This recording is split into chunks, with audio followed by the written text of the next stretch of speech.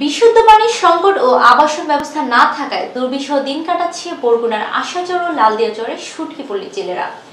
জেলেরা বলছেন, নলকূপ না থাকায় সাগরের পানি খেয়ে অসুস্থ হচ্ছেন তারা। তবে নানা সমস্যার সাথে যুদ্ধ করেও শুটকির জন্য কাঙ্ক্ষিত মাছ পাচ্ছে না তারা। রিপোর্ট করছেন আমাদের বরগুনা প্রতিনিধি জুল হাসমিয়া বরগুনার তালতলী উপজেলার সাগর মোহনায় আষাঢ়চর ও পাথরঘাটা উপজেলার লালদিয়া চর। এই দুই চরে প্রতি বছর শীত মৌসুমে দেশের উত্তর অঞ্চলের প্রায় ষাটটি জেলা থেকে পরিবার সহ জেলেরা আসেন শুটকির ব্যবসা করতে। সাগর ও নদীর বিভিন্ন প্রজাতির মাছ ক্রয় করে প্রাকৃতিক উপায়ে শুটকি তৈরি করেন তারা। মৌসুম শেষে যে আয় হয় তা দিয়েই চলে বছরের বাকি দিনগুলো। তবে পুরো মৌসুম জুড়েই তাদের সমস্যা শেষ নেই। আশেপাশে নেই কোনো নলকূপ তাই সাগরের পানি পান করে অনেকেই অসুস্থ হয়ে পড়ছেন। আর থাকার জন্য হোগল পাতার ছোট ছোট ঘর তুলে বালির বিছানায় থাকছেন তারা। ফলে ঠান্ডাজনিত রোগে আক্রান্ত হয়ে পুরো মৌসুমে অসুস্থ শরীর নিয়ে শুটকি করছেন তারা। ভিডিও বেশি আদা বেঁধে যাইতে মানুষের টাকা পয়সা দিয়ে। না যার মতো কোনো সম্পত্তি নাই। মানে আশা ছিল যে মাছ হইবে কিন্তু মাছ পহেলা পহেলা এখন তো মাছ হয়নি আর মানুষের তাক দিয়ে আমরা যেতে পারব না। এবছর আমরা সাতক্ষীরা থেকে হলো চারশো মতন লোক আসে প্রতি বছর আসে। এবছর মাছ পোনা কম এতে আমাদের লস এবছর। যশোরের শার্শা উপজেলার মাঠগুলি এখন সরিষা ফুলে ভরে উঠেছে। যেখানে তাকানো হয় সেখানে শুধু হলুদ আর হলুদ। আমন ধান ঘরে ওঠার পর থেকে বড় আসার পূর্ব অল্প সময়ে কম খরচে সরিষা চাষ করা যায় বলে শার্শার কৃষকরা এখন অন্য ফসলের পাশাপাশি সরিষা চাষ করে লাভবান হচ্ছেন। রিপোর্ট করছেন আমাদের বেনাপোল প্রতিনিধি রাসেল ইসলাম।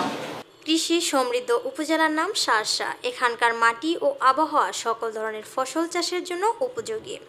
এ উপজেলায় ধান, গম, বিভিন্ন ধরনের সবজি ফলজ সহ তৈলজাতীয় বিভিন্ন ফসল চাষ হয়ে থাকে। পতিত জমিতে কম সময়ে সরিষা চাষ করে লাভবান হচ্ছেন এখানকার কৃষকরা। সীমান্তবর্তী শাসা উপজেলায় এবছর বারোশো হেক্টর জমিতে সরিষা চাষের লক্ষ্যমাত্রা নির্ধারণ করা হলেও চাষ হয়েছে বারোশো ষাট হেক্টর জমিতে। এক বিঘা জমিতে সরিষা চাষ করতে খরচ হয় তিন থেকে চার হাজার টাকা এবং বিক্রি হয় সাত থেকে আট হাজার টাকা। কার্তিক মাসে সরিষা চাষ শুরু হয় এবং কাটা হয় পৌষ মাসে। আমন ধান ঘরে ওঠার পর এবং বড় আসার পূর্বে অল্প সময়ে ও কম খরচে সরিষা চাষ করা যায় বলে শাসার কৃষকরা অন্যান্য ফসলের পাশাপাশি সরিষা চাষ করে লাভবান হচ্ছেন। সারসার মাঠগুলি এখন সরিষা ফুলে ভরে উঠেছে। কোনো কোনো জমিতে সরিষার ফল আসতে শুরু হয়েছে।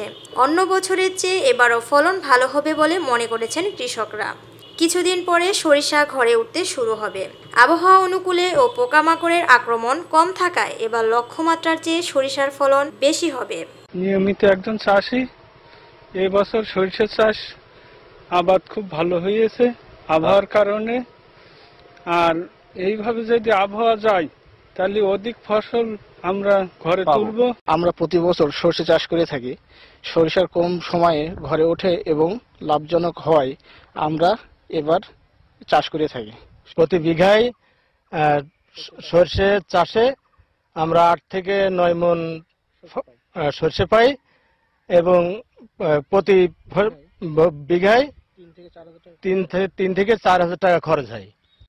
মাঠে আবহাওয়ার কারণে খুব সুন্দর, ফসলের সর্ষের ফুল, ফল খুব সুন্দর হয়েছে তা যদি এইভাবে আবহাওয়া যায়, তা খুব সুন্দর আবাদ আমরা ঘরে তুলতে পারব। চার বিঘে সর্ষে করেছি। সর্ষের ফলন খুব ভালো হয়েছে। আল্লাহ আবহাওয়া যদি ভালো যায়, আশা করছি আমরা খুব সরিষার ভালো ফলন পাবো। কনকনে ঠান্ডা ও শীতের প্রকোপ থেকে বাঁচতে আগুনে পুড়ে মারা গেছেন চারজন। রংপুর মেডিকেল কলেজ হাসপাতালের বার্ন ইউনিটে এখনও ভর্তি আছেন বিশ জন। এর মধ্যে আশঙ্কাজনক ছয় জন অগ্নিদগ্ধের অধিকাংশই নারী ও শিশু। শীতের তীব্রতা বাড়ার সাথে সাথে রোগীর সংখ্যা বাড়ছে হাসপাতালে। রোগীর পর্যাপ্ত চিকিৎসা সেবা দিতে সবসময় প্রস্তুত হাসপাতাল কর্তৃপক্ষ, পাশাপাশি আগুন পোহানোর সময় সতর্কতার পরামর্শ ডাক্তারদের। অপরদিকে আবহাওয়া অফিস বলেছেন, আগামী সপ্তাহে ফের দেখা দিতে পারে সত্যপ্রবাহ। রিপোর্ট করছেন আমাদের রংপুর প্রতিনিধি আলামিন সুমন। হিমেল হাওয়ায় আর কনকনে ঠান্ডায় বিপর্যস্ত রংপুরের নিম্ন আয়ের মানুষের জীবন। পর্যাপ্ত শীতবস্ত্র না থাকায় খড়কুটে আগুন জ্বালিয়ে শীত নিবারণের চেষ্টা করছেন তারা। শীত নিবারণ করতে আগুন পোহাতে গিয়ে প্রতি বছর অনেকেই ডেকে আনেন বিপদ।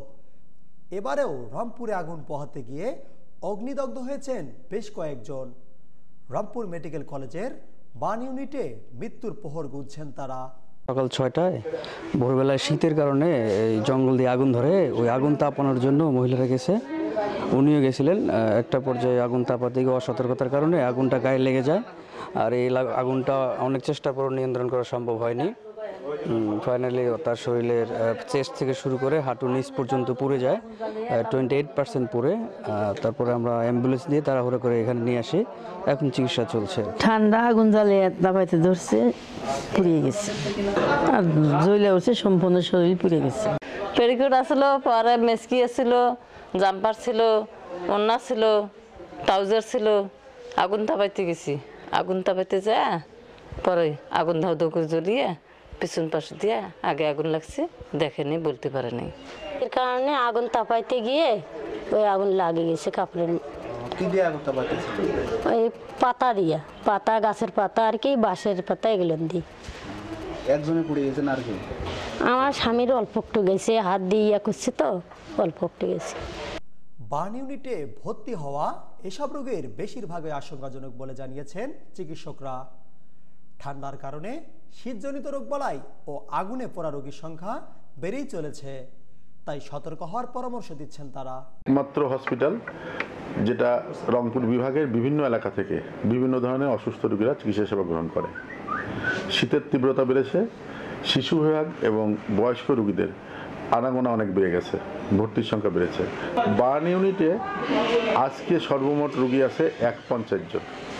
এবং এই এক পঞ্চাশ জন রোগীর মধ্যে এ বছরে, অর্থাৎ জানুয়ারি মাস থেকে মাস থেকে শুরু করে আজ পর্যন্ত, জানুয়ারি মাসের ছয় তারিখ পর্যন্ত সর্বমোট পনেরো জন রোগী ভর্তি হয়েছে। এবং পনেরো জন রোগীর মধ্যে জানুয়ারি মাসে মৃত্যুবরণ করেছে দুজন।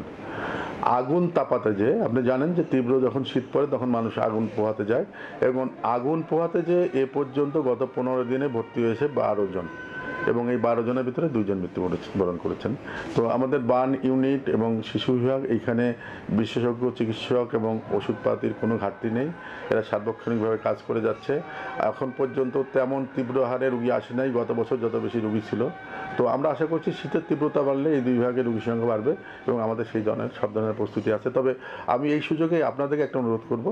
যেহেতু অগ্নিদগ্ধের কারণ সবচেয়ে বড় কারণ হচ্ছে অসচেতনতা। শীতের তীব্রতা বাড়বে। মানুষ শীত নিবারণের জন্য আগুনের যে আহ্বান করে আহ, আহ্বান কাল থেকে যে ব্যবহার এটা করে আসবে। এখনও আমরা ওখান থেকে এড়িয়ে যেতে পারিনি। তবে আগুন থেকে যেন দূরে থাকে এবং টাইট কাপড় চোপড় যেন করে পরে এবং আগুন লাগার সাথে সাথে এটা নিভানোর ব্যবস্থা করে এবং সময় মতো হাসপাতালে রিভার্ট করে। তাহলে আমরা এই অগ্নিযুদ্ধের কারণে প্রাণহানি অনেকাংশে কমাতে পারব। এদিকে রংপুর আবহাওয়া অফিস বলছে রংপুর অঞ্চলে আরও কয়েকদিন তীব্র শীত থাকবে। আগামী সপ্তাহে ফের দেখা দিতে পারে শৈত্যপ্রবাহ। আলাবিন সুমন পলিটিভি রংপুর। বাংলাদেশের উত্তরবঙ্গের সিরাজগঞ্জ জেলার উল্লাপাড়া উপজেলার হাটিকমরুল গ্রামের অবস্থিত একটি প্রাচীন মন্দির হাটিকমরুল নবরত্ন মন্দির নামে পরিচিত।